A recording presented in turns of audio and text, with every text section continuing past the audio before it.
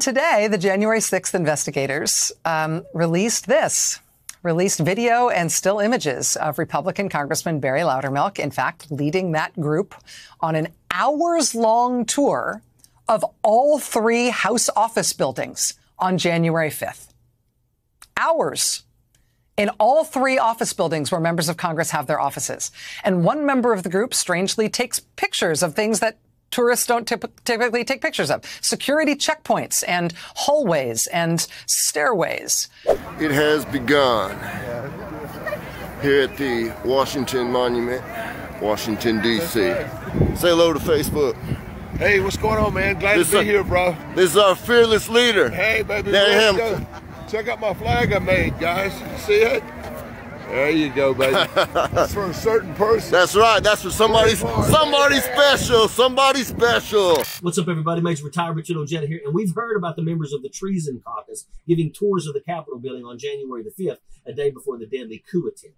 These tours were nothing more than these vile anti-American cosplatrians running reconnaissance as to how they can sack the Capitol the next morning and turn America into a fascist state. The January 6th Commission is shedding light on Representative Barry Loudermilk's tours. The scumbags he welcomed into our nation's capital under his name were seen on video the next day carrying makeshift weapons and threatening violence. You know, the violence that the Republicans are so shocked to see and are utterly astonished that could possibly happen. And think about it. This whole thing is a quintessential Republican move. There's no escape, Pelosi. Schumer. Nadler. We're coming for you. We're coming in like white on rice for Pelosi, Nadler, Schumer, even you, AOC. We're coming to take you out.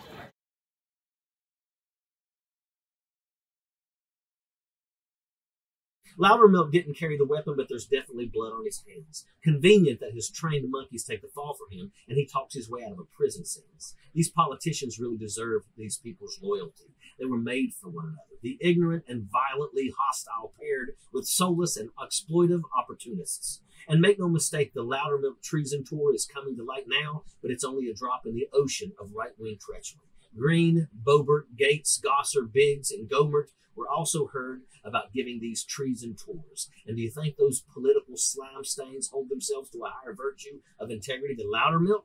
Well, if you do, your brain is past corruption. These snakes will fight tooth and nail to keep the truth from coming out. Perhaps the best thing a politician can offer is transparency, and that is the thing the Treason Caucus works to prevent with every action.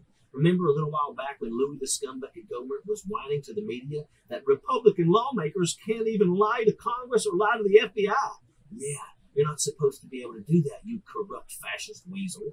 Where in your oath did you swear to lie, cheat, murder, and steal in the name of political power and against American democracy? So while these vermin work to hide their crimes, their intentions are crystal clear.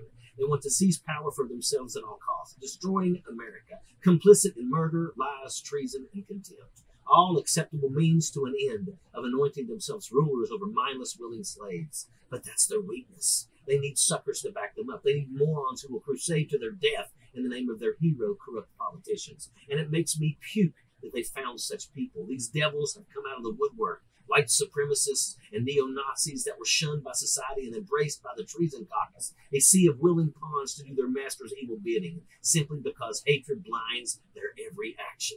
That's why we've got to pay attention to these hearings. We've got to see American justice come through and save this country. And we've got to reach every person, every friend, every neighbor we know, and delete this alt right polluted thinking from our culture forever. Demand these traitors are held accountable and expose the plots to destroy our country from within.